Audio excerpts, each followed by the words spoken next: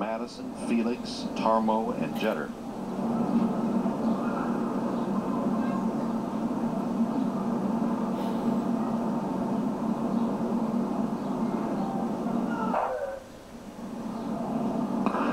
And there's the gun. Carmelita Jeter in the outside lane. Felix off to a good start. So is Tarmoh. Madison is coming on, and here's Richards Ross. The race still up for grabs as they turn into the home straightaway. Allyson Felix now goes to the front. Felix starts to widen the lead.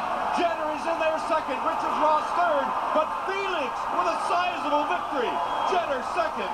Richards Ross is third. What did I tell you about that personal best? Allyson Felix just set a personal best by a huge margin, 21.69. London calling for Allyson Felix. She will go to London as the favorite.